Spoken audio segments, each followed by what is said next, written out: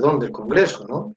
En esta ocasión, pues tenemos eh, la oportunidad de contar con el profesor, eh, es una mesa redonda sobre currículum y prácticas emergentes, y tenemos la oportunidad de contar con el profesor Luis Ramos Mondejar, que bueno, que además de compañero y amigo, profesor de la Universidad de Granada, eh, pues es un, magnífico docente y profesional, ¿no?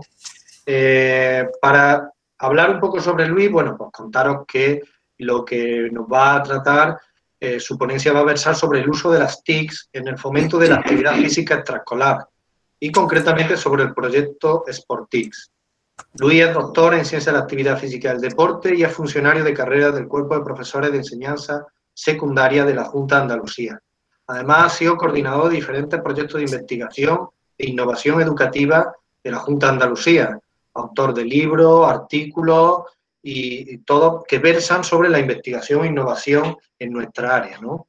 Aparte fue premio extraordinario de doctorado en Ciencias Sociales y, y bueno, imparte clases en, enseñanza secundaria, como he dicho, y también en la universidad como profesor asociado del Departamento de Didáctica de la Expresión Musical, Plástica y Corporal de la Universidad de Granada. También tendremos con nosotros a la doctora Lina María Cardona Álvarez. Eh, Lina es profesora del Politécnico Colombiano Jaime Isasa Cadavid y es docente titular del mismo. Es doctora por la Universidad Nacional del Rosario y magíster por la Universidad de Pamplona en Ciencia de la Actividad Física y del Deporte. Tanto Lina como el siguiente ponente, el profesor Juan Cancio Ártila Arango, eh, nos van a hablar sobre la misma temática, que versará sobre el currículum concretamente en su casa de estudio. Juan, en este caso, es docente titular del Politécnico Colombiano Jaime Isasaca David, es docente de cátedra de la Facultad de Medicina en la Fundación Universitaria San Martín de Colombia.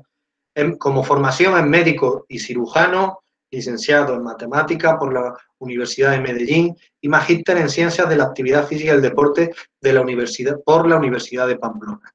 Actualmente es doctorando en innovación eh, del programa de doctorado de innovación didáctica y formación de profesorado de la Universidad de Jaén, con lo cual pues tenemos eh, a tres personas profesionales y bueno, Juan, la verdad, me sorprende, ¿no? Nos sorprende esa amalgama de formación que tiene de, de tanta área, ¿no? Pues, que, que, hace entender muy mucho pues, tus inquietudes cuando, cuando compartimos y hablamos contigo, ¿no?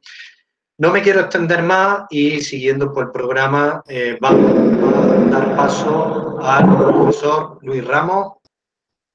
Cuando quieras, Luis, puedes comenzar a compartir tu pantalla. Pues buenas tardes a todos. Es un placer estar con, vosotros y agradecer a la organización del Congreso que hayan contado conmigo para venir a contaros esta experiencia. Eh, así que sin más, y para intentar eh, obviamente ajustarme al tiempo que tenemos disponible para cada ponencia, os voy a, pasar a presentaros eh, nuestro proyecto.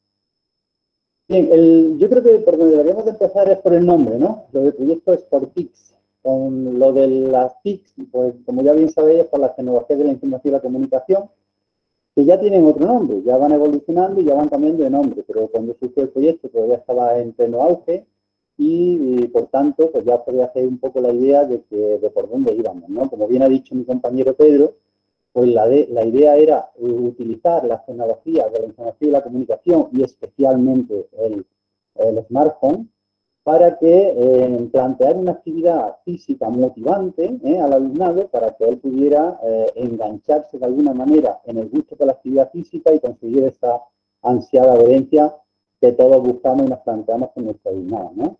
Un poco el planteamiento del problema, lo he preparado, bueno, antes de eso quería comentaros que, tuve necesidad de formarme en el diseño de páginas web para poder aglutinar un poco toda la información que se nos venía encima con el, con el tema del proyecto, ¿no?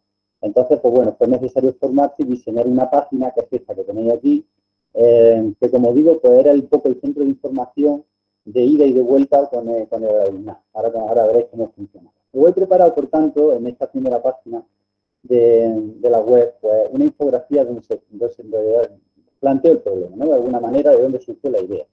Pues bien, como todos sabemos, eh, hay una disminución o existe una disminución importante de la, de la actividad física, eh, sobre todo en determinadas, en determinadas edades infantiles y adolescentes, y que no se ajusta a las recomendaciones que en muchos casos establece la Organización Mundial de la Salud, tanto de tiempo como de intensidad.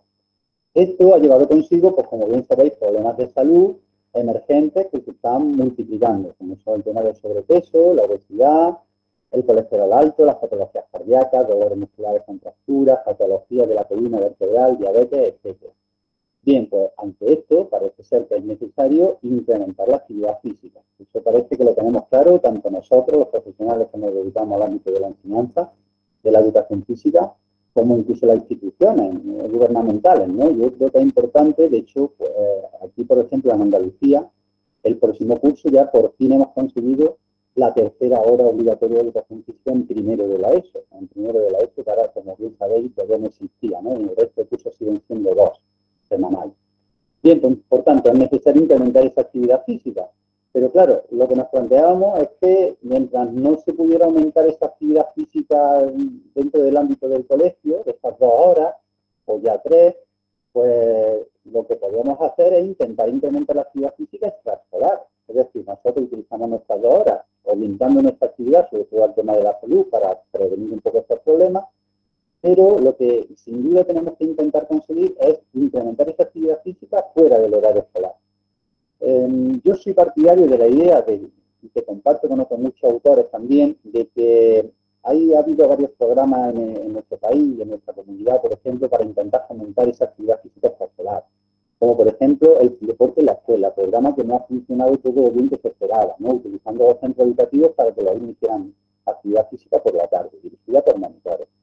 También es cierto que se han mejorado las instalaciones y el acceso a las mismas. Yo creo que hay un número de instalaciones importante. Pero yo me imagino que estaréis de acuerdo conmigo en que es cierto que para aumentar de verdad o para que el alumno eh, en la pubertad y la adolescencia, para que se inclinen a hacer actividad física por la tarde, cuando no es dirigido, cuando no en el centro escolar, pues lo que hay que hacer es engancharlo. De alguna manera lo que hay que hacer es engancharlo, eh, plantearle algún tipo de actividad motivante para que ellos encuentren ese gusto por la actividad física. Yo creo que de nada sirve tener muy buenas instalaciones, eh, tener muchos puntos de acceso, tener diferentes programas, si no conseguimos de verdad motivar al alumno hacia la práctica de física deportiva, eh, por propia voluntad, ¿no? Por propia voluntad y fuera de la hora de clase. Entonces, de ahí parte un poco la idea, porque no intentamos plantear un programa donde se le ofrezca al alumno una actividad física extraescolar motivante, que podamos ser capaces de enganchar con ese primer nivel de adherencia, ¿no? Entonces se nos ocurrió plantear pues un trabajo en grupo donde era necesario usar eh, pues ese aparato que tanto adoran ellos ya. Este, concretamente este proyecto se hizo en cuarto de la ESO. Pero bueno, yo creo que ya los niños, a partir de, de sexto de primaria, por supuesto en primero de la ESO, pues no sé en otros países, pero aquí casi todos los niños ya lo tienen, ¿no? Entonces tenían que hacer uso de su querido smartphone, que hacerse selfies, que por otro lado era también algo de lo que sigue siendo lo que más les gusta hacerse, el tema de los selfies. Eh, también que tuvieran un nivel de exigencia regulado, para cumplir con esos criterios que, propone la Organización Mundial de la Salud, que fuera también una actividad competitiva donde ellos se enfrentaran a retos y fueran en el grupo intentando conseguir estos retos y consiguiendo, de alguna manera como una especie de gamificación, ¿no? pero que intentaran conseguir una serie de retos mientras hacían esa actividad, que fuera al aire libre, a ser posible, que no costara dinero, que fuera al aire libre, y a ser posible también por su entorno cercano, ¿eh? lógicamente pues cerca de su lugar de residencia que no tuvieran, obviamente, que desplazar. Y fruto de todo esto y con estas intenciones, pues fue como surgió, como digo, el proyecto Sportif. Bien, el proyecto Sportif, aquí tenéis otra infografía, donde explica básicamente, y ahora ya pasaré a explicar, eh, me meteré otro menú para explicar los diferentes recorridos que había. El proyecto Sportif consistía fundamentalmente en dedicar, era una unidad didáctica que se daba en la clase, pero fundamentalmente se dedicaba un par de sesiones a explicar cómo funcionaba el proyecto esportivo. Bien, pues como veis aquí, el primer paso de la era la formación y la explicación al alumnado de qué era lo que tenían que hacer exactamente. Bueno, pues fundamentalmente aquí se les explicaba cómo tenían que utilizar eh, la página web, porque ahora ya veréis que ellos fundamentalmente lo que hacían es por grupo realizar un recorrido. Un recorrido siguiendo un mapa. Y ese mapa viene ahora aquí en, la página web. Por tanto, yo llevaba un smartphone, con llevar un smartphone era suficiente, se recomendaba llevar dos por grupo, si uno fallaba, se quedaba sin batería o sin red o algo así, y meterse en el recorrido y seguir ese recorrido al pie de la letra en grupo, superando una serie de pruebas en el recorrido que hacían por la ciudad.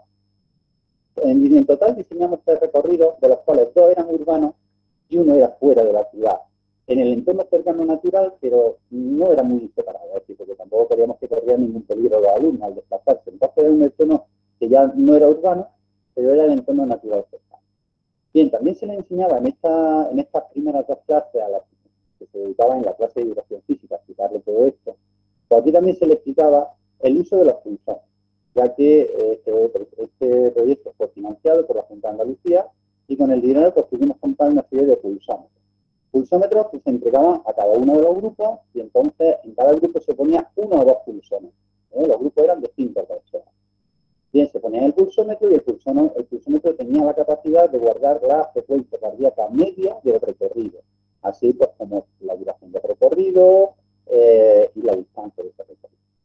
Bien, em, también se le informaba de una aplicación que tenía un usuario del móvil, que era de las cosas que, que pretendían desarrollar, que es las herramientas digitales, que era Wikilog.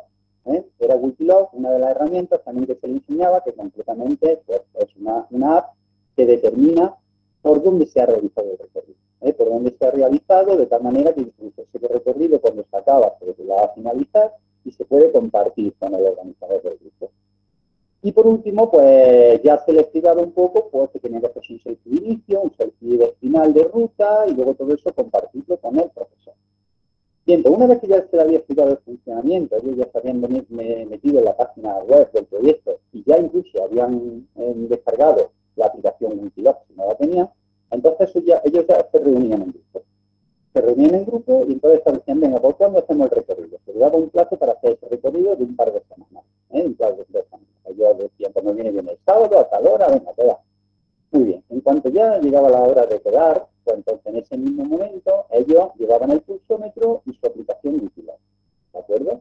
Lo que hacían para empezar el recorrido es poner en marcha el pulsómetro y a la vez darle a inicio la aplicación digital.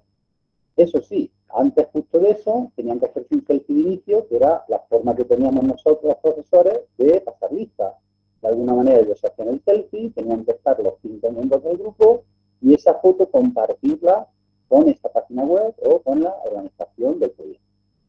Y una vez que se habían hecho su selfie, pues empezaban a correr, ¿vale? Empezaban a correr en grupo. Eso sí, era muy importante que fueran en grupo, porque era una actividad en grupo.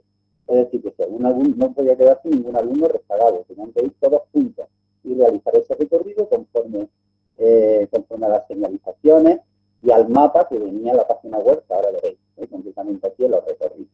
¿De acuerdo?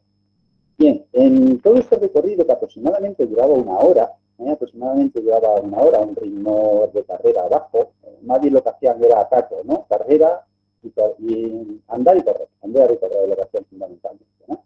Pues había una serie de paradas, concretamente tres, donde rescataban un código QR.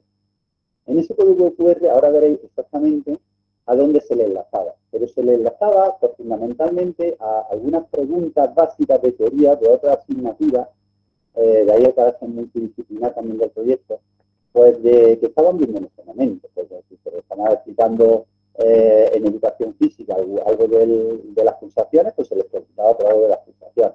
Pues si se les estaba enseñando en lengua algo relacionado eh, con la teoría que estaban viendo en ese momento, pues se les hacía alguna pregunta pues, de lo que estaban viendo en ese momento. Entonces era un par de preguntas en ese código QR. Eh, una vez que se había avanzado en el proyecto, pues tenían que ya parar el pulsómetro, era muy importante porque si no, lógicamente, pues iba corriendo y también parar la aplicación inicial. ¿De acuerdo? Y hacerse un selfie de meta. Con el selfie de meta veíamos que efectivamente todos los que empezaban habían acabado el recorrido. Y ya por último, y una vez ya en casi tranquilo, pues tenían que subir todos esos archivos, esos selfies a la web y compartirlos con el profesor. Bueno, ahora lo veréis que están aquí en la página. Bien. Bueno, pues lo que los alumnos se encontraban para seguir el recorrido no es ni más ni menos que esto. Aquí tenéis, ¿no? Pues se metían en la pestaña de recorrido y aquí pues tenían concretamente el recorrido número uno. Aquí estaba eh, Aquí veis el recorrido, aquí estaba el inicio y aquí estaba la meta.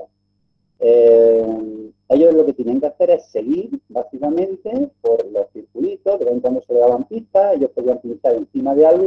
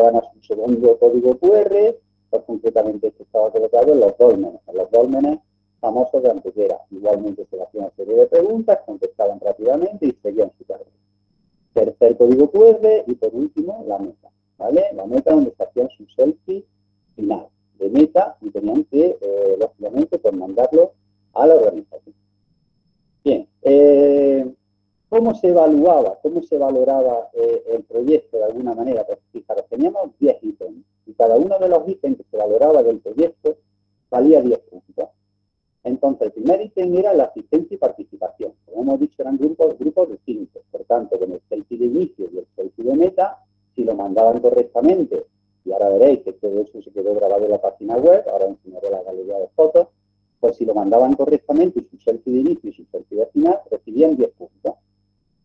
Eh, había muchas veces que a lo mejor faltaba uno, un alumno que no había podido hacerlo, pues entonces en vez de 10 puntos recibía 8 puntos con cada alumno que faltaba se perdía un poquito de puntos en ese.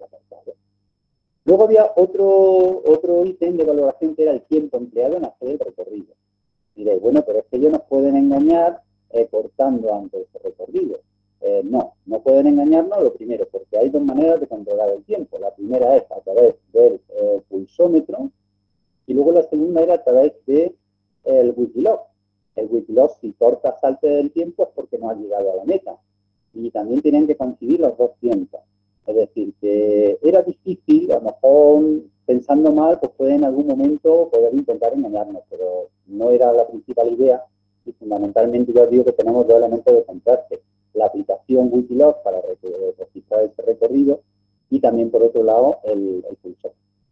Eh, tenían que compartir conmigo, tenían que compartir ese recorrido, para yo efectivamente ver pues, que habían realizado el recorrido correcto y que no habían cogido, por ejemplo, atajos, sino que coincidía con el recorrido visto antes, ¿no? que coincidía exactamente con él.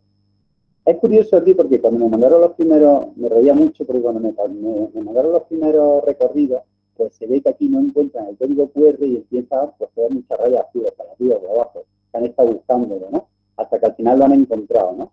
Y ya siguen el recorrido. Entonces, claro, todo eso se detecta y se ve en ese, a la hora de compartir ese recorrido, que es lo bueno que te permite esta aplicación, compartir ese recorrido. Bien, otro de los factores era el ritmo de carrera. En el ritmo de carrera, yo lógicamente no sé a qué, a qué ritmo iban, pero lo que sí les pedía es que la frecuencia media que tenía que registrar el pulsómetro tenía que ser lo que dice la Organización Mundial de la Salud, que tiene que estar por encima de 120. Y aquí os voy a enseñar, por ejemplo, aquí tenéis una hoja de registro del primer recorrido de todos los grupos, había grupo A, B y C, pues de, los grupos que aquí veis, por ejemplo, donde está exactamente la pulsación aquí, ¿veis? 140 de media, 175, 143, 157, 158. Estas son las pulsaciones medias de las dos personas que llevaban, llevaban el pulsómetro, o a veces solo uno. En algunos casos que solo llevaba uno. ¿Vale? Hombre, lo ideal habría sido que hubieran tenido pulsómetros todos, pero claro, no teníamos pulsómetros para todos, entonces se lo ponía solo un miembro del equipo, ¿no? Un miembro del grupo. Entonces eso es lo que pedíamos para tener aquí máxima puntuación, que estuviera por encima de 120. Como veis, estos grupos todos están por encima de 120, por tanto en este apartado tienen un 10. Es la nota que aparece en rojo. ¿De acuerdo? Bien. Había otro que era la solución a los códigos QR. Se presentaba un par de preguntas, cada una valía 5 puntos. Si fallaban en alguna, pues se restaba 5 puntos. Luego tenían que subir los selfies a la web, muy importante. Se le daba un plazo de tiempo para que subieran estos selfies a la web. Eh, si alguna vez se olvidaba o se pasaban de tiempo, pues se restaba también puntuación. Tenían que compartir el recorrido, simplemente compartirlo conmigo, a través de mi correo, compartirlo. Entonces, si lo compartían en tiempo y forma, pues también 10 puntos. Luego, los datos del pulsómetro también tenían que compartirlos conmigo, precisamente para detener las pulsaciones, para tener el contacto ese del tiempo que efectivamente se había utilizado el pulsómetro ese día y en ese tiempo, ¿no? Eso valía otros 10 puntos. Y ya para finalizar, tenía que, tenían que hacer cualquiera de los miembros del grupo una entrada en el blog. Una entrada en el blog que estaba integrado también igualmente aquí, estaba integrado aquí en, la, en, nuestra página web y tenía que hacer una entrada pues diciendo algo del recorrido. Si le había gustado, si no le había gustado, si le había parecido intenso, si no le había parecido intenso, etc. De tal manera que al final, pues, se estableció pues, un ranking ¿eh? un ranking después de sumar todos estos registros que tenéis aquí, el recorrido número 1 en rojo, el recorrido número 2, el literario, y el recorrido número 3, pues al final se estableció un equipo ganador, un equipo ganador eh, que era lo de menos. En fin, lo que más le dimos importancia precisamente era que ellos realizaran la actividad. Entonces, pues, hubo un equipo ganador, que en este caso fue el de 4, con 290 puntos, hubo un segundo grupo, el tercer grupo, como veis, se estableció un ranking final en función de esa puntuación, en función de esa puntuación eh, a ver, eh, fue muy interesante eh, el hecho de hacerse los, selfies más en este curso, al inicio y al final, porque al final pues se quedó un poco, como ya sabéis, en cuarto de la ESO, ellos hacen pues, ya comida final de curso, ¿no? Su comida hasta final de curso de graduación en la ESO. Entonces, me consta que al final se utilizó también estas fotos pues para que para ellos en ese momento pues recordarlo como algo divertido y algo entretenido y como un recuerdo incluso en un álbum de fotos que queda ya para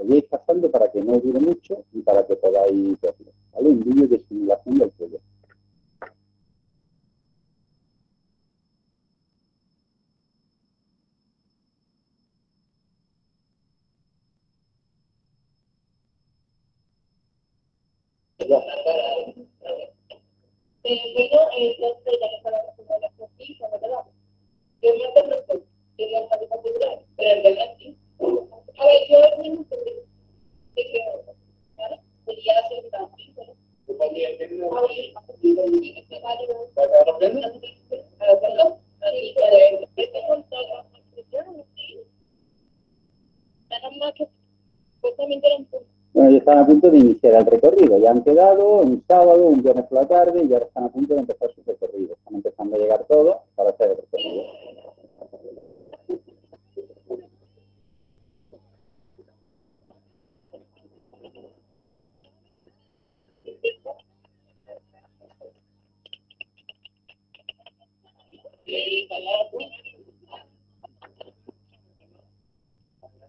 Como veis, pues aquí se los pulsómetros, se colocan dos de los integrantes en los pulsómetros para empezar a funcionar. Y uno de ellos, para ver ahí aquí a la izquierda, pues pone en marcha la aplicación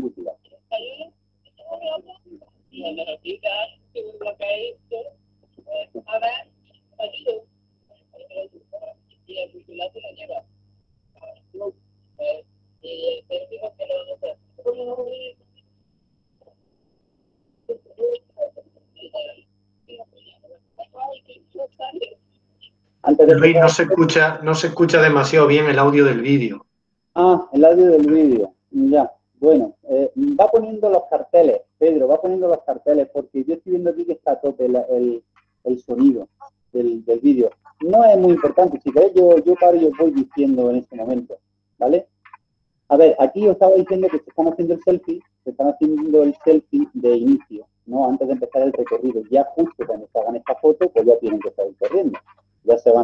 en el recorrido y a seguir el recorrido.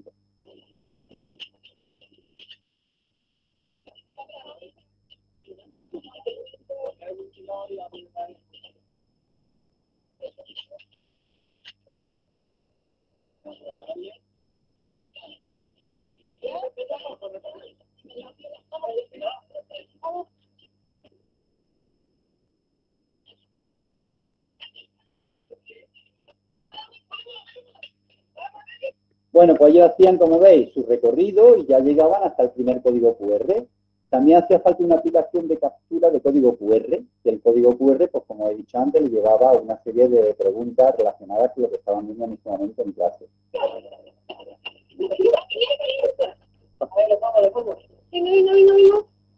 Los códigos QR, eh, este como una simulación estaba puesto ahí y si os dais cuenta ellos no le ha costado trabajo encontrarlo porque sabían que estaba ahí los códigos QR los tenemos puestos en señales de tráfico porque, de hecho, mm, los proyectos discurren por el caso histórico de la ciudad de Antequera, por ejemplo, y ahí está totalmente prohibido pegar nada en ningún sitio. Entonces, donde únicamente se podía pegar eran las señales en algo metálico, eh, generalmente utilizamos señales de tráfico y por detrás, ¿no? por detrás de las señales de tráfico.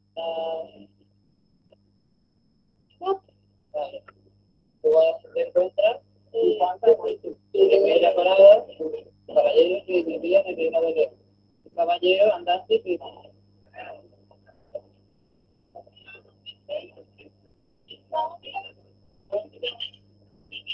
Aquí ya llegan los alumnos a su tercer, al, tercer rescate, ya están acabando prácticamente, al rescate de su tercer código QR.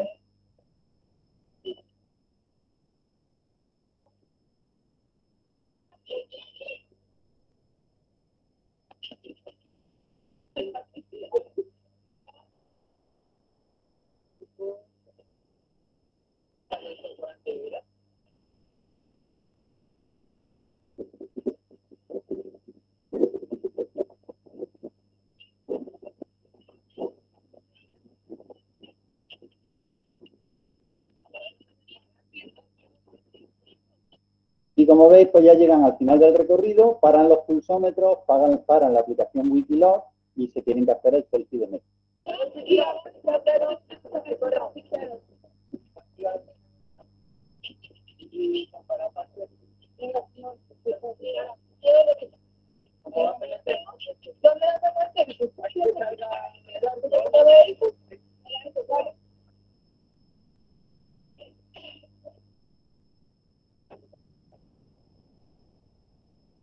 Eh, muy bien, eh, pues bueno, ya para terminar, ya para terminar, eh, comentaros que, que había como dos, dos pasos, ¿no? Dos pasos más para es como yo creo que podríamos aplicarlo además también en primaria, como podríamos aplicarlo en primaria.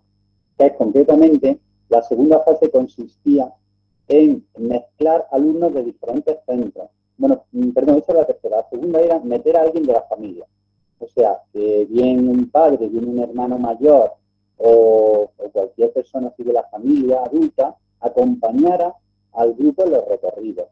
Porque además, como bien sabéis también, pues el hecho de que ellos vean un referente familiar que haciendo actividad física también es un motivo más para fomentar la adherencia. Entonces esa era la segunda parte del proyecto. Y la tercera parte era pues intentar hacer como una especie de competiciones con todos los centros de la ciudad, para que se mezclaran algunos entre sí, mejorar las relaciones sociales entre los alumnos de estas mismas edades y de alguna manera pues seguir motivando hacia lo que es la mejora de la práctica de actividad física escolar y esa mejora hacia la derecha. Así que por mi parte, pues nada más y pues espero al resto de ponentes para luego las preguntas que nos hacer. Muchas gracias. Pues muchísimas gracias, Luis. Para no demorarnos mucho, pues damos paso a los siguientes ponentes. La doctora Lina María Cardona Álvarez, por favor, cuando quiera puede compartir las diapositivas. Vamos a iniciar, permítame presentar este video en este momento.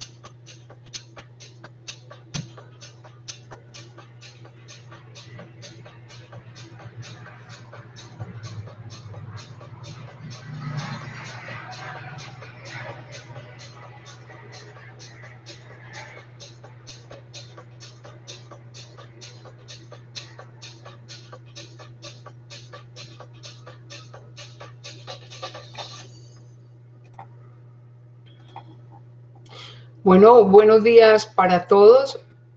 Permítame, colocamos la presentación.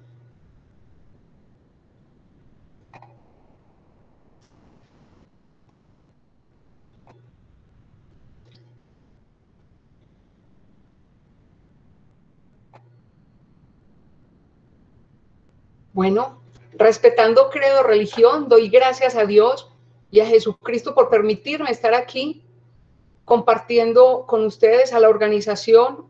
Gracias por aceptar esta ponencia en tan importante evento. Colaboradores, ponentes, mi buen amigo Juan Cancio, hoy en representación del Politécnico Colombiano Jaime Sasa Cadavid, les damos un saludo a todos los colegas, estudiantes, por crear estos espacios que promueven relaciones interinstitucionales, la gestión del conocimiento, en este primer Congreso Internacional en escenarios actuales, nos enfocaremos en ciudadanos del mundo, profesionales de, la educación física, que sean ciudadanos del mundo, que puedan tener y ofrecer en los currículos, en sus áreas específicas y de formación, también las habilidades blandas, el cuidado del otro, la asertividad, el trabajo en equipo, para poder así como sociedad afrontar estos cambios digitales que trae la cuarta revolución, que digo, la quinta revolución industrial. Ayer nuestro profesional podría quedarse 10, 15 años sin capacitarse. Hoy, si en dos años el licenciado en educación física no se prepara, pues para desarrollar estos retos como el Big Data, la inteligencia artificial, estos algoritmos, los nuevos lenguajes de programación, la gamificación. Ya no podemos formar profesionales con cronómetro y pulso. Las plataformas, los relojes de inteligencia, la ciencia de los datos, la robótica, el Internet de las cosas, pues nos, hoy nos generan unas tensiones y contradicciones. Eh, y aquellos deportes que, que eran de la actividad física dominante, hoy están permeados por algunas expresiones alternativas a nivel global, no solamente en Medellín. Y esto está mediado por las TIC. Ha permitido que la sociedad sea permeada a este nuevo tipo de expresiones emergentes en el ámbito global y que han, se han posicionado en nuestro medio. De manera que amerita nosotros que somos los profesionales del área, los académicos, debemos de proporcionar y echarle una nueva mirada a esas expresiones de manera más profunda para poder generar contenidos de aprendizaje, procedimientos y materializarlo. Debemos crear rutas de aprendizaje para esa fuerza laboral, creando talentos y respondiendo a los nuevos desafíos para afrontar la nueva normalidad de manera remota, atendiendo a la diversidad, a la equidad de género y a la equidad y a las economías circulares. Hoy ustedes bien ven la creciente turbulencia en el entorno económico, la presencia de un mercado cada vez más competitivo hacen que la flexibilidad sea un imperativo para cualquier universidad, para cualquier colegio, si quiere ser exitoso y mantenerse. Las instituciones hoy necesitan adaptarse a esos cambios rápidos, necesitan eh, estar sumidos en esos desafíos, la consolidación de la sociedad del conocimiento como materia prima de mayor valor es imparable, la innovación tecnológica. Y esto nos, vuelvo y repito, nos impone desafíos a las instituciones de educación. Ningún currículo de formación profesional puede permanecer intacto o inmutable, ya que puede tornarse obsoleto a estas nuevas necesidades y la flexibilidad es creo que el mayor camino que nos puede llevar. Es justamente como coordinadora de práctica que soy institucional del Politécnico Colombiano de Misasa Cadavid, donde me doy cuenta de la posibilidad que tienen los estudiantes de interactuar con el mundo real. Y encontré practicantes que iban a centros donde ellos realizaban sus prácticas y ya no me pedían tanto fútbol, voleibol, baloncesto, sino que me pedían aprendices y me preguntaban si ellos trabajaban estas prácticas emergentes. Ustedes bien saben que hay unas prácticas decadentes, hay unas dominantes y otras emergentes. Esas decadentes son muy variables de acuerdo al país. Eh, no sé, en España, en México, en Chile, aquí en Colombia los juegos tradicionales en el país los revive un solo municipio. Las dominantes, bien sabemos que el fútbol, el voleibol, el atletismo, siempre van a estar y las emergentes son las que nos ganan el espacio en ese momento de análisis.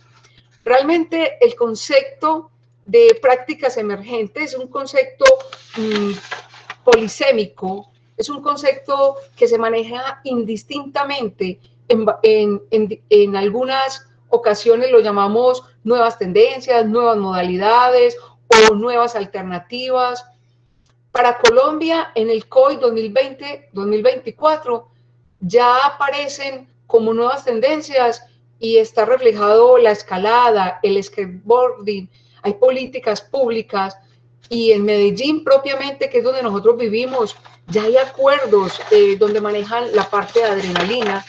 Entonces es importante que se lleven a los currículos. Para el autor Vega y Thompson, ellos hablan de no, convencionales o prácticas eh, alternativas. Zaragoza, Gaviria, Sicilia y López, ellos dicen que son nuevas tendencias, pero este, este nuevo concepto que aparece de prácticas emergentes consiste principalmente en modificar el conocimiento anterior. ¿Qué significa? Que nosotros, esto no viene de una tabla rasa, esto no viene solo, no, son deportes y hacen extensiones como el downhill, como el skateboarding que vienen del patinaje. Así que le voy a dar paso a mi buen compañero Juan Cancio Arcilarango, para que nos organice toda esta propuesta metodológica y en un momento, cuando él termine, yo vuelvo a ingresar. Adelante, mi compañero Juan Cancio Arcil Arango. Gracias, Lina. Vamos a garantizar que estemos compartiendo pantalla, por favor. Sí, Juan, estás compartiendo pantalla. Bueno, perfecto. ¿Se ve la presentación? Sí, Juan, se ve la presentación. Bueno, el audio se escucha perfectamente. Totalmente, Juanchito. Adelante. Bueno, muy bien.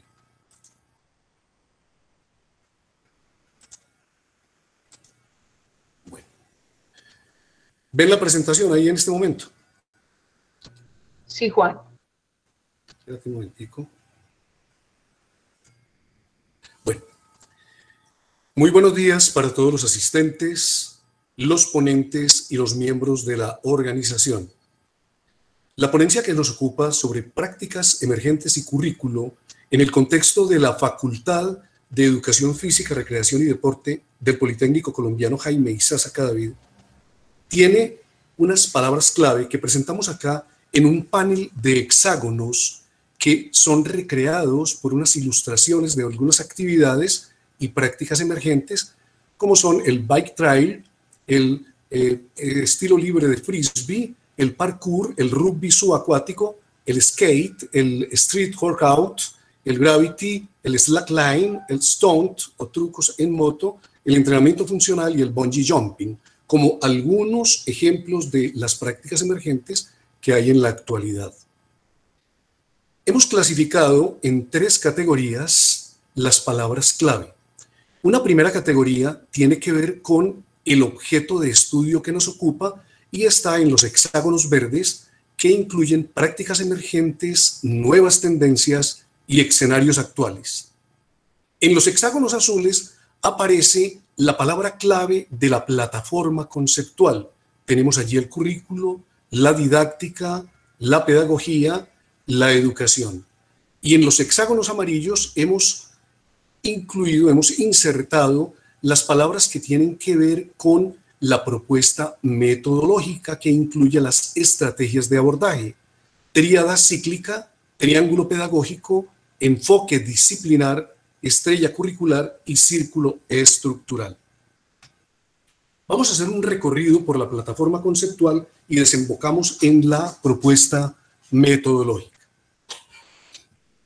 Si bien es cierto la pedagogía es una ciencia que estudia la educación como fenómeno sociocultural, y la didáctica es un estudio e intervención de los procesos de enseñanza-aprendizaje para optimizar lo que son métodos, técnicas y herramientas, algo que va más allá de lo que es un plan de estudios, tienen entonces por objeto estudiar la educación, que es un proceso, ¿cierto?, de formación social y también cultural de los individuos que se debe manifestar a través de valores, de competencias, ¿cierto?, de actitudes que pueden influir en la transformación cultural, ¿cierto?, que produce cambios intelectuales, emocionales y sociales. Visto de esta manera, la conexión entre estas tres disciplinas es el hecho de que la pedagogía utiliza la didáctica como discurso a través del cual observa la educación para hacerla el objeto final de todas sus elaboraciones.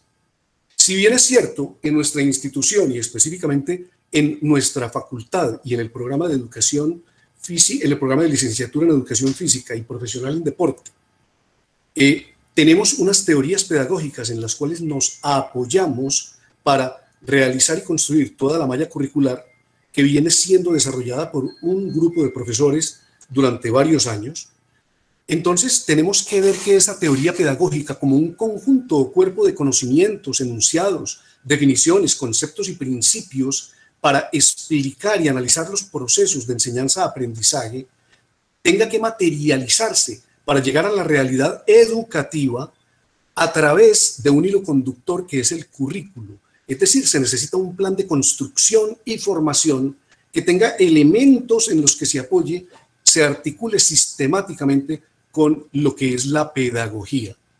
Entonces queremos es hacer efectiva esa teoría pedagógica a través del hecho de asegurar los aprendizajes de nuestros estudiantes y además promover el desarrollo de la población objeto.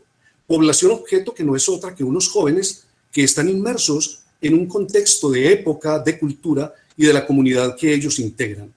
Para nosotros poder finalmente hacer efectiva esa teoría pedagógica, de poderla llevar a una realidad educativa, entonces tenemos que traducir a través del currículum un modelo pedagógico como un instrumento que se idealice, que reproduzca idealmente lo que son los procesos de enseñanza-aprendizaje para que nos sirva como una carta de navegación para analizar, comprender, orientar y direccionar la educación dentro del contexto institucional, dependiendo de los nuevos requerimientos y de las nuevas demandas de las prácticas de los jóvenes de esta época.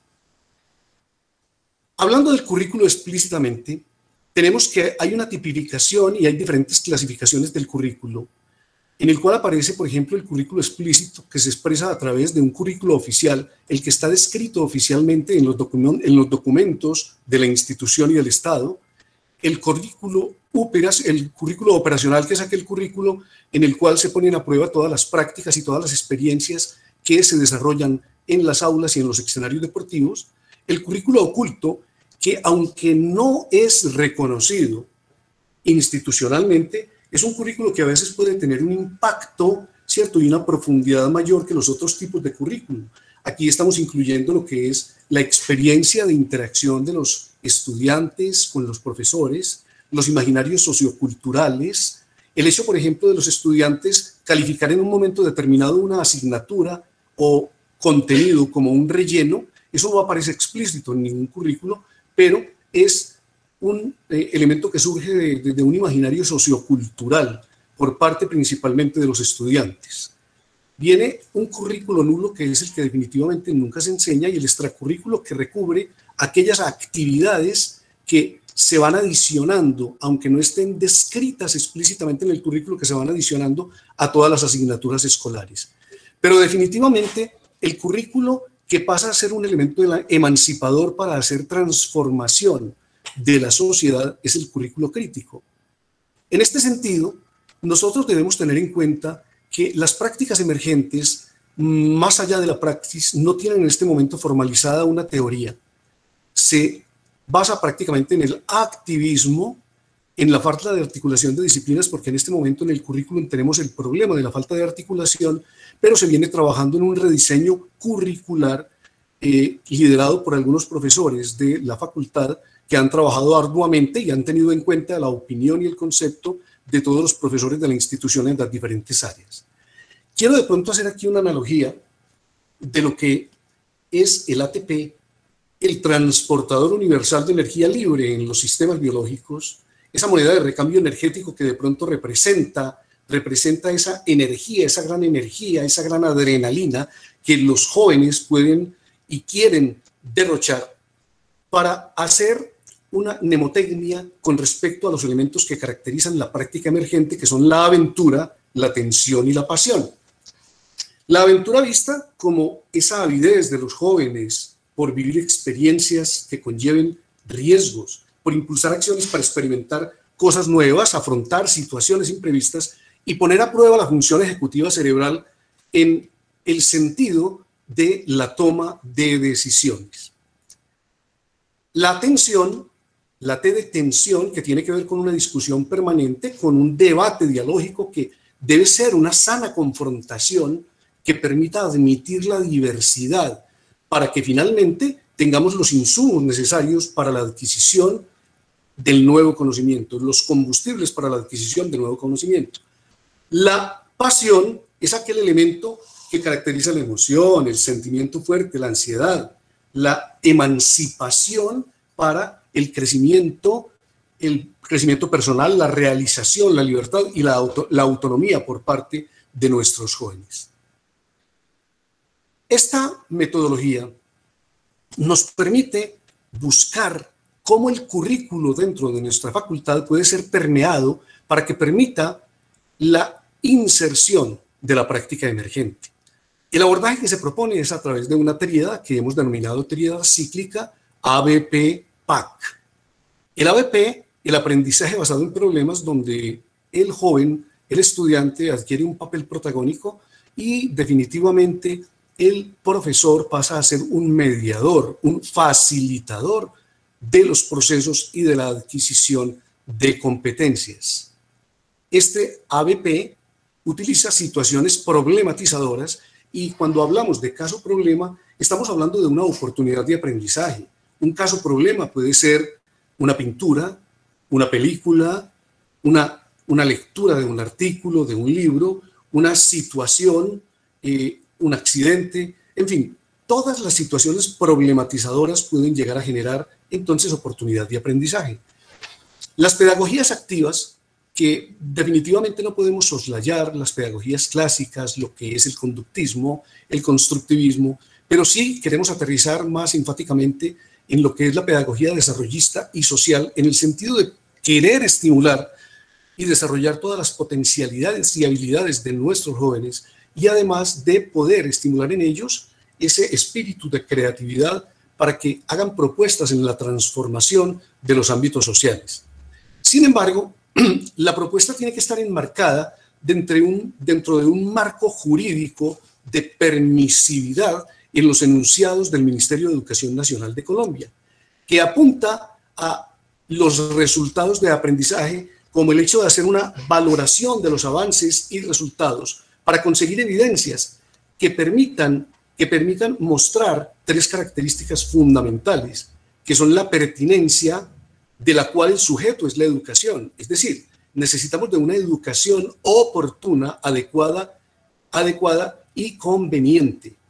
También el elemento significancia en el cual el sujeto es el estudiante, el cual, de acuerdo a lo que él considere importante y además también aquello que le permita adquirir competencias para su futuro desempeño profesional. Y el elemento de relevancia que tiene que ver con la trascendencia y tiene que ver además con lo que es la responsabilidad social de la institución y de los programas en la formación de nuestros jóvenes. Aquí precisamente quiero mostrar lo del marco jurídico, el decreto 1330 de 2019, emanado del Ministerio de Educación Nacional de Colombia. Voy a leerlo textualmente, comillas. Los resultados de aprendizaje son concebidos como las declaraciones expresas de lo que se espera que un estudiante conozca y demuestre en el momento de completar su programa académico. Que dichas declaraciones, el subrayado es mío, deberán ser coherentes con las necesidades de formación integral y con las dinámicas propias de la formación, cierro subrayado, a lo largo de la vida necesarias para un ejercicio profesional y ciudadano responsable. De manera que este renglón que he subrayado, cuando habla de dinámicas propias de la formación, habla entonces de el proceso dinámico evolutivo de las prácticas deportivas en nuestro medio, que definitivamente dan la posibilidad de incrustar las prácticas emergentes en el currículo. Del año 2020 tenemos un acuerdo también de Mineducación, el Acuerdo 02, por el cual se actualiza el modelo de acreditación de alta calidad y lo que tiene que ver con resultados de aprendizaje. Tengo que hacer un paréntesis en el sentido de informar que en este momento en nuestra institución estamos en la labor conjunta de eh, cumplir con todos los requerimientos para la visita de acreditación de alta calidad. El acuerdo 02 lo voy a leer también textualmente. Aquí en el acuerdo se repite el inciso inicial del decreto 1330, comillas. Son concebidos como las declaraciones expresas de lo que se espera que un estudiante conozca y demuestre en el momento de completar su programa académico. Se constituyen en el eje de un proceso de mejoramiento en el que se evalúa el grado en el que el estudiante se acerca a obtener los resultados definidos por el programa académico. El siguiente inciso es de es subrayado por mí.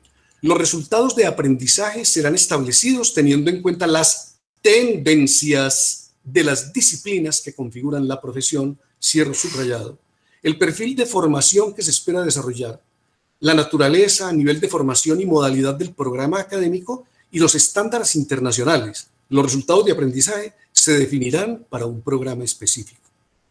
En un ambiente de pronto algo pesimista y dijéramos algo sombrío, podemos decir que esta es una luz jurídica que nos permite pensar en que sí se puede lograr el propósito de implementar las prácticas emergentes dentro de la malla curricular.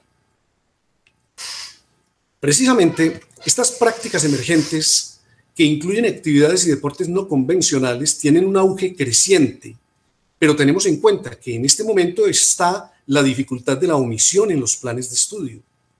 Los cierres de escenarios deportivos y restricciones en situación de pandemia, la paquidermia burocrática que definitivamente dificulta mucho los procesos de implementación y de modificación de los planes de estudio, la falta de actualización, capacitación y cualificación de los docentes en estas nuevas disciplinas y la falta de voluntad política por parte de el Estado que obstaculiza, que prácticamente hace muy difícil la implementación de todos estos proyectos y todas estas propuestas. Por todas estas razones, la práctica y la competencia de estas prácticas emergentes son generalmente clandestinas. Dejo una interrogación, porque parece que estuviera configurando ese elemento eh, jurídico que tiene que ver con la desobediencia civil. Dentro de la propuesta para insertar las prácticas emergentes en el currículo tenemos entonces varias estrategias que hemos denominado estrella curricular, triángulo pedagógico, círculo estructural de competencias y espiral de enfoques. La estrella curricular consta de una estrella de consta de seis puntas, las cuales tienen en cada uno de esos vértices todas las áreas que están incluidas dentro del plan de estudio. Tenemos área básica, área de gestión, área de investigación y práctica, área biomédica, área específica y área general. Hemos subrayado con amarillo la punta de área específica en el sentido de que este es el posible punto de permeabilidad para entrar al plan de estudio con las prácticas emergentes. Si bien tenemos situaciones problemáticas, situaciones problemáticas en cada una de las bases de esos triángulos que representan las puntas, vamos a conectar las prácticas emergentes en cada una de ellas a través de nuestra impronta metodológica que es el ABP para estudiar concienzudamente lo que es el objeto de estudio, que es el movimiento corporal humano en todas sus manifestaciones específicamente y principalmente en lo que es la actividad física y el deporte. Como ustedes pueden apreciar, a la estrella curricular le hemos asignado unas entradas que tienen que ver con cultura, innovación, tecnología y los tres elementos característicos de las prácticas emergentes, aventura, tensión, pasión, y se esperan unas salidas que nos den cuenta de las competencias cumpliendo con las necesidades y los resultados esperados. El triángulo pedagógico está conformado por tres vértices y tres lados. Es un triángulo equilátero donde tenemos en el vértice superior lo que denominamos área temática o que en otros programas se denominan núcleos temáticos. Nosotros tenemos entonces seis áreas o núcleos temáticos que son la básica, la general, la específica, la biomédica, la de gestión y la de investigación. He resaltado con rojo la específica porque esta es la parte o la zona que puede generar un punto de permeabilidad, como lo dije anteriormente. En el vértice inferior izquierdo aparece lo que denominamos asignatura o contenido, que es el contenido de deportes y el área electiva. Precisamente en las áreas electivas u optativas también surge una ampliación de esa permeabilidad que estamos buscando para incrustar las prácticas emergentes en el currículo de la facultad. Y en el vértice inferior derecho aparece el caso problema o la situación problemática que tendrá que ver entonces con ejecución de actividades físicas no convencionales. Como ustedes pueden apreciar, todos los vértices están conectados a través de la impronta metodológica, que es el aprendizaje basado en problemas, con el objeto de estudio de nuestra facultad y principalmente del programa de profesional en deporte, que es el movimiento corporal humano en la actividad física y el deporte. Hemos decidido de todas maneras explicar sobre este triángulo pedagógico lo que hemos denominado técnica GPS. La G de generalidad, que mira el movimiento corporal como tal, la P de particularidad, que incluye lo que son las prácticas deportivas, lo que es la práctica deportiva, arte y recreación en el área específica, y la singularidad, que es la práctica emergente misma.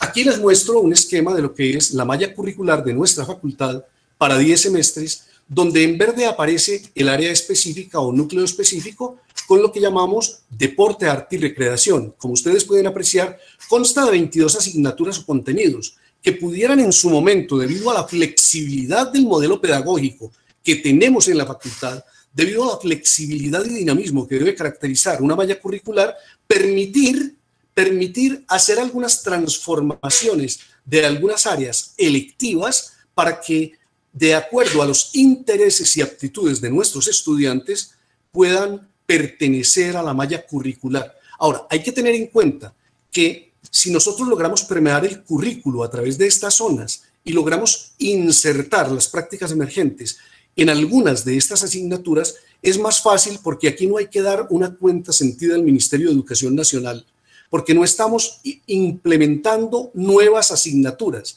sino que dentro de las ya existentes, en un área o contenido conocido, simplemente se daría cabida a que las prácticas emergentes fueran discutidas y fueran definitivamente una parte del plan de estudio. Dentro de estos triángulos pedagógicos, teniendo en cuenta la plataforma conceptual de la cual he venido hablando a lo largo de la ponencia, entonces tenemos la pedagogía, la didáctica y el currículum, donde tenemos que tener en cuenta lo que son los ambientes de aprendizaje, que son ambientes dinámicos y que van variando de acuerdo a los requerimientos de aprendizaje de nuestros estudiantes, y lo que es la estructura del plan que pretendemos transformar. Aquí en este ecosistema deportivo del currículo tenemos unas entradas teniendo en cuenta las nuevas dinámicas, las prácticas emergentes, los deportes alternativos, las culturas y los nuevos ambientes laborales, porque debemos tener siempre en el perfil de la formación de nuestros estudiantes como un esquema, un norte con el cual, al cual tenemos que mirar por el futuro desempeño profesional de nuestros estudiantes. Las salidas tienen que estar revestidas de una pretendida calidad, de esa pertinencia, de esa cultura del milenio que está caracterizando los procesos académicos, de los ambientes globalizados y definitivamente de las pedagogías activas, específicamente de las pedagogías desarrollista, que trata de desarrollar todas las potencialidades de nuestros estudiantes, y de las pedagogías sociales para que ellos produzcan impacto y transformaciones sociales. En el círculo estructural de niveles de competencia, basado en los postulados de Auswell, tenemos las competencias que son competencias actitudinales de humanización muy importantes del aprender ser y del saber ser, las competencias cognitivas de conceptualización del saber y conocer y las competencias procedimentales de emprendimiento, del saber emprender, del hacer sabiendo y del saber hacer. Y tenemos finalmente, aunque parezca un, poco complejo, lo que es el espiral de enfoques en el, abordaje disciplinar de las prácticas emergentes. No podemos pretender que desde cada disciplina individualizada, e independiente, demos una explicación eh, completa de lo que es la práctica emergente o de lo que es cualquier asignatura dentro de los núcleos temáticos del plan de estudio. De manera que disciplinarmente es importante, pero como es un conjunto de elementos de conocimientos homogéneos, no nos darán una explicación completa. Los enfoques multidisciplinar y pluridisciplinar ya permiten desde varias disciplinas como mirar el objeto de estudio, pero la diferencia es que el pluridisciplinar presenta ya una coordinación, un enfoque donde tiene en cuenta de manera mancomunada ya ese conjunto heterogéneo de conocimientos que permiten explicar, lo que es el, el objeto de estudio. El enfoque interdisciplinar, que es aquel que permite el surgimiento de nuevas disciplinas. Por ejemplo, cuando hablamos de morfofisiología, vamos a brindar de una manera más completa, de una manera más integral, una explicación, por ejemplo, del movimiento corporal humano en las palancas anatómicas regidas por el motor del gesto articular, que es precisamente el músculo. Si lo estudiamos exclusivamente desde la morfología, en las áreas de anatomía, histología y embriología, vamos a tener apenas una explicación parcial del fenómeno. Pero si nosotros tratamos de concretar a través de la función en el ambiente de la fisiología y hablando específicamente de la fisiología articular y la fisiología osteomuscular, podemos dar una explicación más aterrizada del problema. Pero si tenemos en cuenta que hasta el momento hemos mencionado solamente una perspectiva estructural, la morfológica, una perspectiva funcional, la fisiológica, y adicionamos la perspectiva causal que tiene que ver con el porqué de las cosas, cómo ocurren las cosas, entonces entramos en el ámbito de la física y específicamente de la mecánica, que nos brinda esa, esa, esa perspectiva, esa disciplina emergente que es la biomecánica para dar una explicación más integral del movimiento corporal humano. Entonces, si nosotros estamos hablando de disciplinas, de, en este caso de, de, prácticas emergentes, pues obviamente son prácticas en las que los jóvenes no pretenden, bajo ningún punto de vista, abolir las actividades y deportes clásicos, sino que más bien están recreando, están enriqueciendo la posibilidad y el surgimiento de nuevas actividades deportivas. Entonces, nuestra tendencia, más allá de lo interdisciplinar, y sería lo deseable, es el enfoque transdisciplinar, porque en el enfoque transdisciplinar es el objeto de estudio que en este caso para nosotros son en la facultad, el objeto de estudio pues, serían el movimiento corporal humano y en este caso que nos ocupa de la ponencia, la práctica emergente, entonces ese enfoque transdisciplinar nos va a permitir hacer un periplo con el objeto de estudio por todas las disciplinas para ir cogiendo de cada una de ellas aquellos elementos de todo ese cuerpo heterogéneo de conocimientos para dar una explicación integral del fenómeno. Muy bien, hasta acá mi ponencia, les agradezco la atención prestada y mi compañera Lina María entonces va a proseguir. Gracias. Gracias, Juan. Como lo dice mi compañero Juan, es importante tener en cuenta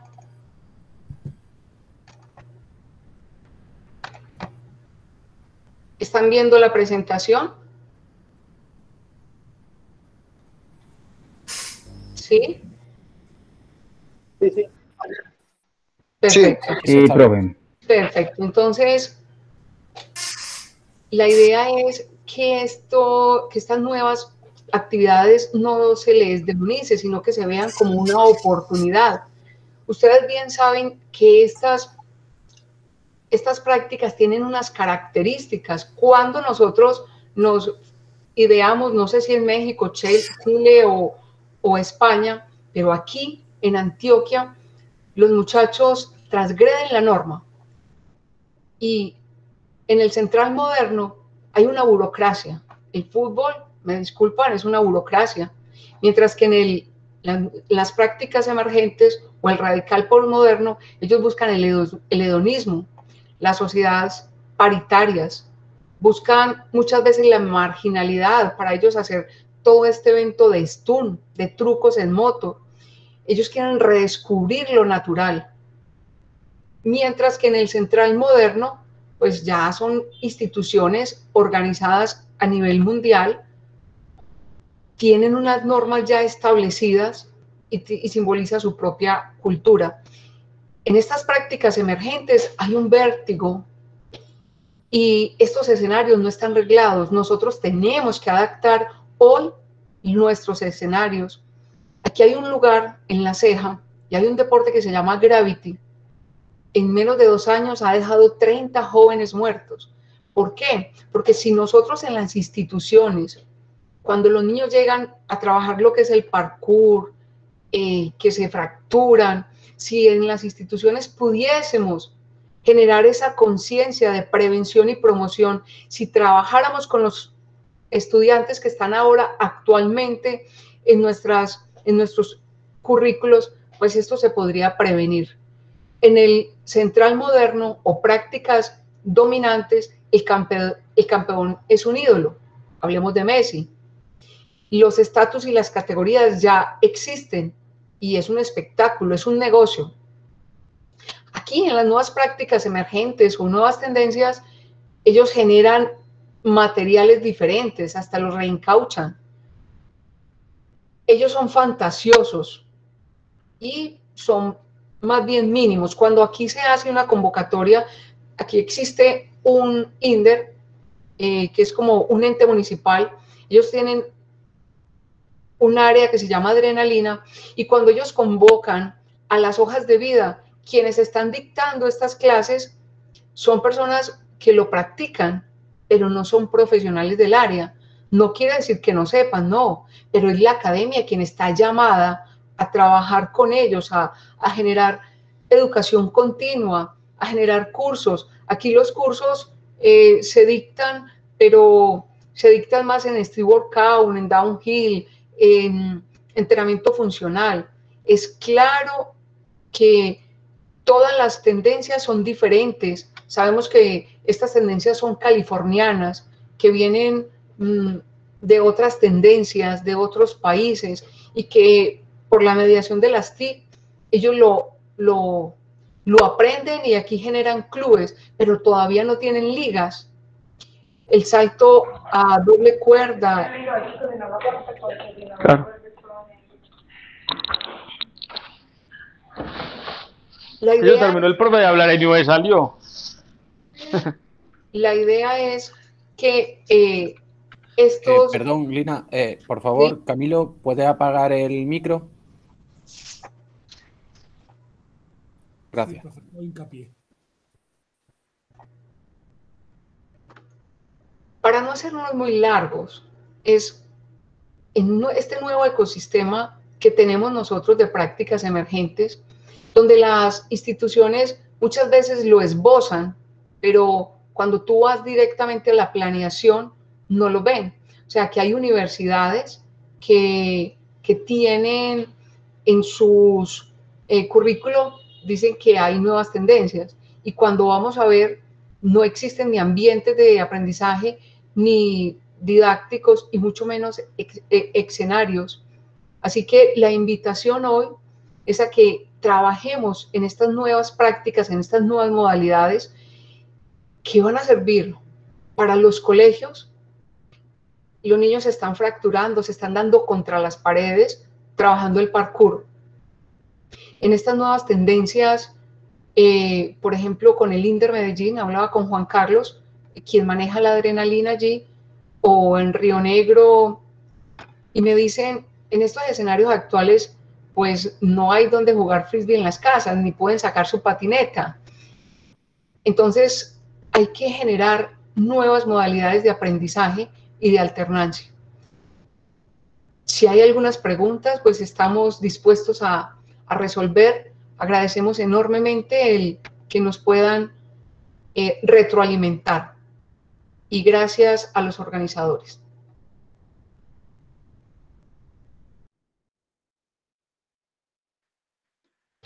Bueno, eh, ¿hemos acabado? Sí, ¿Sí? hemos ¿Se me escucha? Sí, hemos acabado. Me doy cuenta que está tarde en España y no quiero, no Sí. queremos andar más. Si alguien desea eh, que trabajemos esta propuesta, pueden contactar al profe Juan Cancio Arcilarango o a mí y podemos ahondar. Perfecto. Hemos, hemos excedido un poquito el tiempo. No sé si hay algún tipo. Bueno, hay tres manos levantadas. Eh, solo vamos a tener tiempo para una, sí, sí, porque llevamos 15 minutos de retraso y eh, tenemos en espera las comunicaciones. Entonces, en ese sentido, si quiere Federico, que era el primero que tenía la mano levantada.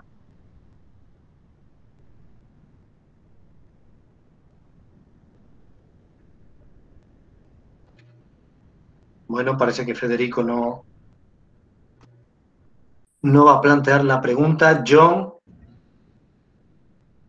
Eh, sí, buenas noches, creo ya en España. Eh, buenos días aún. Y la pregunta es para, para Lina y para Juan Cancio. Y sé que son eminencias acá en nuestra universidad. Yo soy estudiante del Poli y si hay alguna política ya os esté trabajando para reglamentar estas eh, tendencias emergentes, poder hacer una buena práctica de, de estas, eh, valga la redundancia, de estas eh, em- emergentes que hay en nuestro país. Sí, sí, John, gracias por la pregunta. El COI ya incluyó algunas nuevas tendencias. En el plan de desarrollo también hay incluidas skateboarding, eh, dance, ya también en Medellín hay un acuerdo, que es el acuerdo en el 2012 sobre adrenalina. Pero ¿qué más, qué más eh, bases jurídicas que las que mencionó el doctor Arcila hace un momento con que nosotros tenemos que estar actualizando, Juan? Tienes el micrófono apagado, Juan. Eh, John Jairo, para complementar un poquito la respuesta de la profesora Lina, tengo que decirte que desde la facultad existe una disposición permanente para afrontar todas estas eh, nuevas situaciones, para afrontar los cambios. Y no es una cosa que se haya dado simplemente por la situación de la pandemia. De hecho, en nuestra institución, eh, profesores como Gonzalo Jaramillo, Andrés Zapata, también William Ramírez, Donaldo Cardona, Adriana Ruiz, eh, Guillermo León Zapata, son profesores que han estado trabajando también, Cristina Londoño, trabajando permanentemente en lo que es el trabajo de diseño, el diseño curricular. Han hecho un trabajo de rediseño curricular. A ver, nosotros en este momento, cuando lanzamos esta propuesta, es porque vemos la situación favorable, porque ellos a través de ese trabajo mancomunado y que hay que decir que nos han tenido en cuenta a todos para preguntarnos nuestros conceptos, nuestras opiniones, nuestras vivencias, ¿cierto? Entonces nos han permitido como un ambiente favorable para poder implementar definitivamente las prácticas emergentes en la malla curricular. Eh, en cabeza de nuestro decano, Juan Fernando Ruiz, se ha generado un ambiente de cordialidad y de apertura para que todos participen en los nuevos ambientes de aprendizaje y para que participen en todas aquellas propuestas que permitan transformar y generar cambios positivos en nuestra facultad. Entonces yo creo que ya hay, como se dice, un caldo de cultivo apropiado para que nosotros podamos lanzar una propuesta de este tipo y que finalmente, tal como lo requiere la modernidad, podamos tener las prácticas emergentes como parte de esa malla curricular. Pues muchísimas gracias, Juan, muchísimas gracias, Lina. Eh, gracias, John, por tu pregunta y también gracias a Luis por también su ponencia, ¿vale? Muchísimas gracias a los tres y bueno, no quisiera, aparte de esos agradecimientos, no quisiera dejar pasar esta, esta ocasión para personalmente dar las gracias a Juan Cancio porque si este congreso ha llegado a Colombia por, por su trabajo. Entonces, agradecerte, Juan, el trabajo que, que, ha hecho para poder hacer extensible este evento en, tu país. Muchísimas gracias.